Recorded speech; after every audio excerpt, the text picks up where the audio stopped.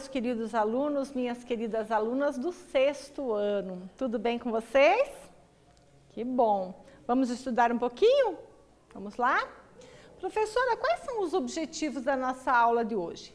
Nós vamos ler um poema, nós vamos compreender os efeitos produzidos pelo uso de recursos expressivos sonoros, como rima e ritmo reconhecer o sentido figurado das palavras e criar um pequeno poema. Olha, quantos objetivos nós temos aí para a aula de hoje, né? Vamos confrontar o nosso conhecimento. Para ser considerado um poema, deve ter quantos versos, professora? Porque eu sei que cada linha é um verso. Quantos versos tem que ter para ser considerado um poema? Um poema fica melhor com ou sem rima, professora? Hum. Ouvi algo sobre ritmo na poesia. Ritmo não é um elemento só da música, professora? Vamos ver isso? Vamos lá? Ontem, você ontem me falou que não anda nem passeia. Como é que hoje cedinho eu vi seu rastro na areia? Ai, que fofinho, né, pessoal? Este é um poema.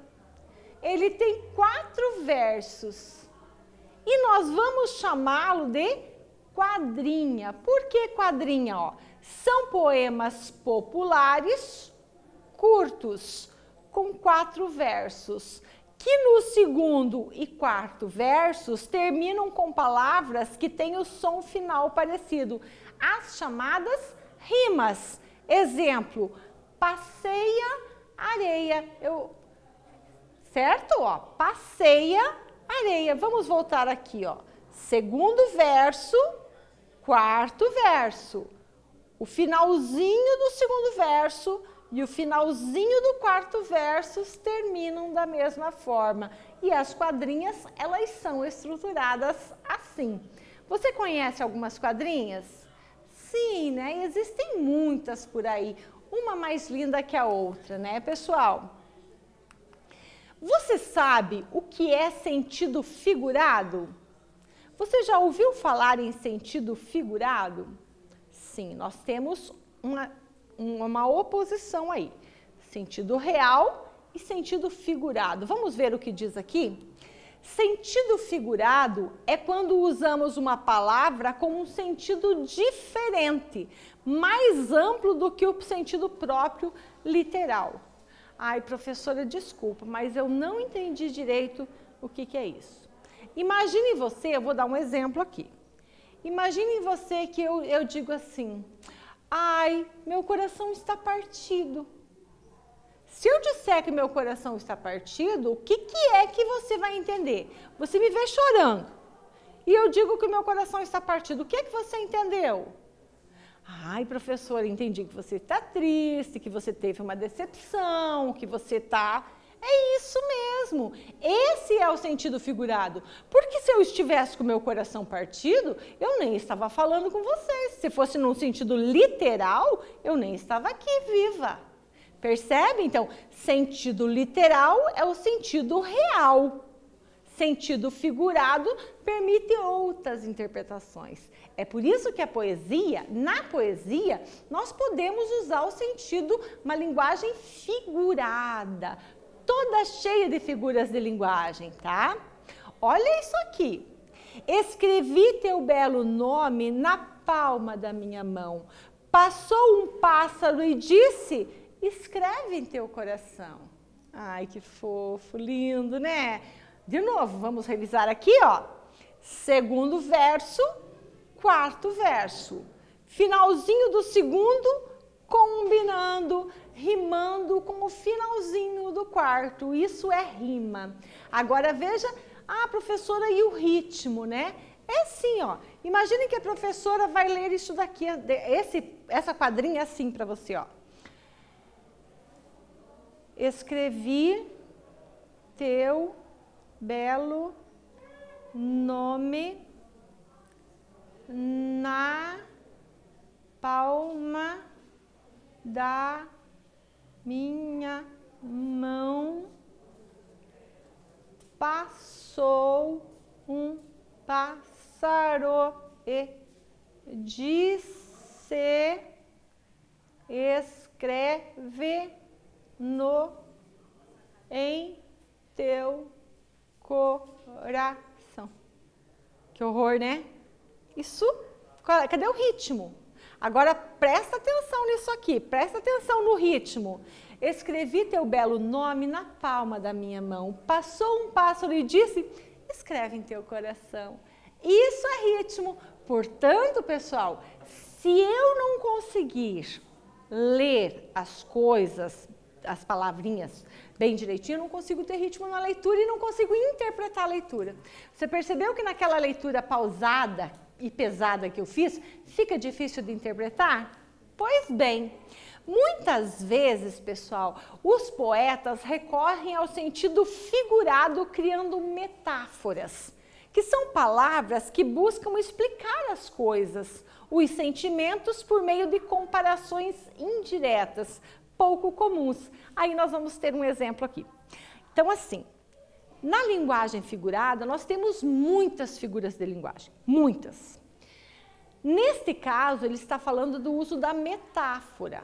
Né? Metáfora é o quê? É quando você afirma alguma coisa por causa da semelhança. Imagine que a sua, a sua avó é muito boazinha.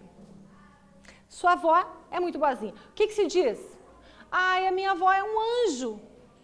Sua avó é um anjo? Não, a sua avó é boazinha como um anjo. Imagine que a sua mãe é muito brava e você diz assim: a minha mãe é uma fera. Sua mãe é uma leoa? Sua mãe é. é não, sua mãe é brava, por isso que você associou com fera. Isso é uma metáfora. Quando você afirma alguma coisa porque existe uma semelhança. Imagine que você é, a professora Glaucia, você vai dizer, professora Glaucia é uma palmeira. A professora Glaucia é uma palmeira? Não, a professora Glaucia é alta, nem sou tanto assim, né, gente? Mas é mais ou menos isso, você afirma por causa da semelhança. E nós temos, vou voltar aqui, ó, o menino é uma fera. Como o menino é uma fera? Ou é menino, ou é um animal. Não, mas ele é bravo, né? Ele é, ou é valente, ou é corajoso, não sei, né? Em que sentido? Mas quando eu digo que o menino é uma fera, eu estou usando uma metáfora, porque o garoto é tem aquela semelhança, aquela característica com o animal. Muito bem? Vamos ler alguns outros poemas, outra quadrinha. Sou pequenina, criança mimosa, trago nas faces as cores da rosa. Fofinho. Uma quadrinha. Olha só, lembram? Quadrinha, quatro versos. Um, dois, três, quatro. Segundo verso, e quarto versos, combinando, portanto, temos aqui uma rima. Quiz, pessoal. Em quais dos fragmentos abaixo as palavras estão sendo usadas em seu sentido literal? Lembrando que sentido literal, o sentido real, não permite interpretação nenhuma. Vamos lá? Letra A. Carrega o papai no bolso e mamãe no coração. Letra B, sou pequenininho como um botão. Letra C, sou pequenina, criança mimosa. Letra D, quando planto o amor perfeito, nasce sempre uma saudade. Ai, que poético, que romântico, né, pessoal? Um tempinho para você pensar. Sentido literal, aquilo que é real, que não permite outra inter interpretação. Já já estou de volta.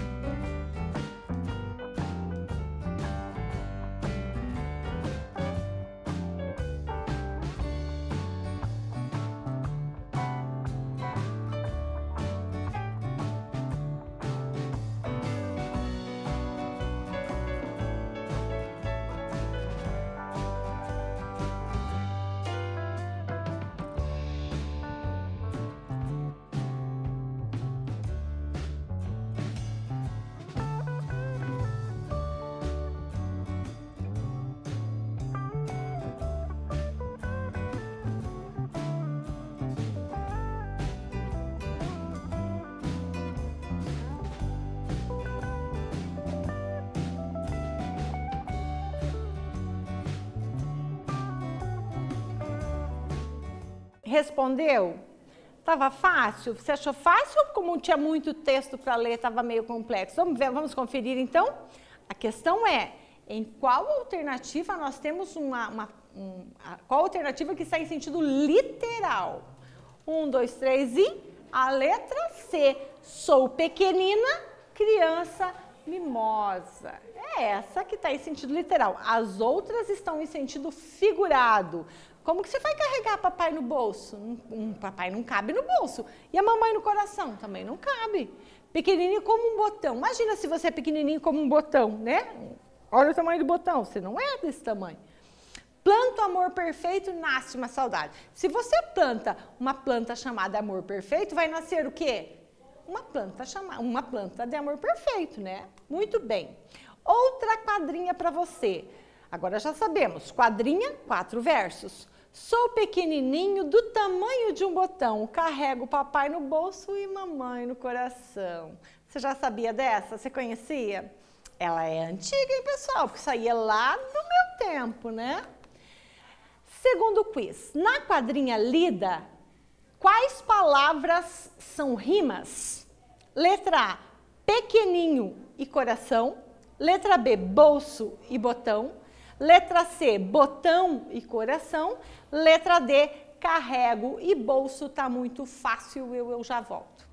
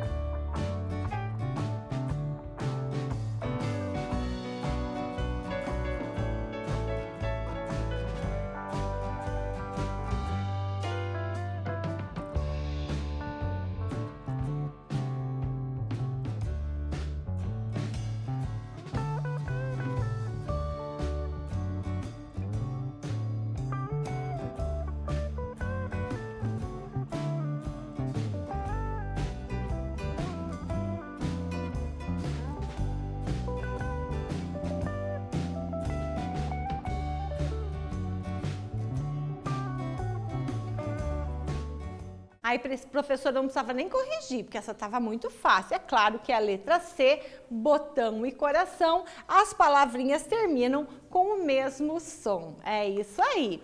Ritmo, professora, eu já sei um pouco o que é ritmo, porque você já mostrou lá atrás. Todo poema tem um ritmo próprio, criado pela alternância de sílabas fortes e sílabas fracas. No caso das quadrinhas, esse ritmo faz com que elas, muitas vezes, sejam também cantadas. Você entendeu? Ó, é, eu vou, vou, voltar aqui. Ó, presta atenção. Você me mandou cantar pensando que eu não sabia, pois eu sou que nem cigarra, canto sempre, todo dia. Você percebeu ou não?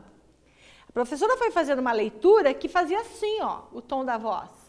Isso é um ritmo. sílabas mais fortes e mais fracas, mais fortes e mais fracas. Quando a gente faz isso, nós temos o ritmo. Conforme eu leio o meu poema, eu consigo perceber isso. Se nós não temos essa velocidade, essa fluência, essa fluidez na leitura, nós também não conseguimos perceber, tá? Leia a quadrinha observando o ritmo criado pela alternância das sílabas fortes e sílabas fracas. Eu quero que você leia comigo agora. Vamos lá? Eu vou junto com você. Vou fazer isso, ó. Você me mandou cantar, pensando que eu não sabia, pois eu sou que nem cigarra, canto sempre todo dia. É o ritmo, pessoal. Você viu que delícia que é poesia? Poesia é uma brincadeira, na verdade, né? Atividade 1 um para você. Anota no seu caderno. Escolha uma dupla de palavras e produza uma quadrinha. Caderno, companheiro, pode ser. Lápis, escravo, pode ser. Borracha, cúmplice, aquela que esconde os erros, né? Quem esconde os erros é uma cúmplice. A borracha é nossa cúmplice. Régua, direção. Como assim, professora? É para você escolher. Se você não quiser nenhuma dessas sugestões que eu dei, escolhe aí. Mas alguma coisa que faça um paralelo, que faça sentido. A régua não dirige você para o lugar certinho? O lápis não faz tudo o que você manda? Não escravo. A, a, borracha não apaga e não esconde o seu erro, a borracha sai por aí contando, ai, a Glaucia errou tal coisa. Não, a borracha vai lá, apaga fica quietinha, uma cúmplice. E o caderno é o meu companheiro. Eu posso reclamar, eu posso me gabar, eu posso. É o meu companheiro para sempre. Então você vai escolher. Eu dei um exemplo para você aqui, ó, tá? Ó, ela é uma grande guia, não quer saber de trégua faz tudo direitinho, ela é a minha amiga régua. É um exemplo da professora. Ó. Quadrinha, quatro versos, segundo e quarto combinando e temos uma rima aí. Um tempinho para você e eu já volto.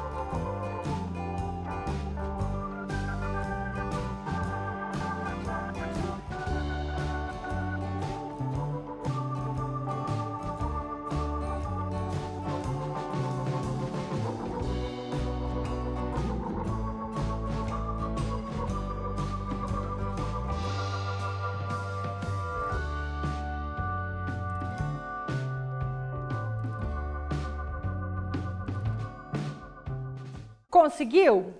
Ah, ainda tem, né? ainda precisa trabalhar um pouquinho mais. É isso mesmo, pessoal. Quando a gente vai produzir um texto, texto não é muito fácil. A gente tem que pegar, buscar vocabulário, arrumar palavrinha, fazer rimar, ver se combina, ver se não combina, ver se a sílaba mais forte e fraca vão ficar, ficarão alternadas. É isso mesmo, né? Lembram? Né? Tem um poema do, do Pedro Bandeira que diz: poesia é brincar com palavras. Como se brinca com bola, papagaio e peão. Só que bola, papagaio e peão, de tanto brincar se gastam, as palavras não. É isso aí, pessoal. Enfim, pessoal, nós lemos alguns poemas hoje, lemos quadrinhas. Vimos que elas são poemas populares curtos, com quatro versos. Compreendemos o que são rimas e o que é ritmo. E que rima e ritmo na quadrinha é muito importante para a sua construção. Beleza, pessoal? Nossa aula termina por aqui. Um beijo para vocês. Até mais.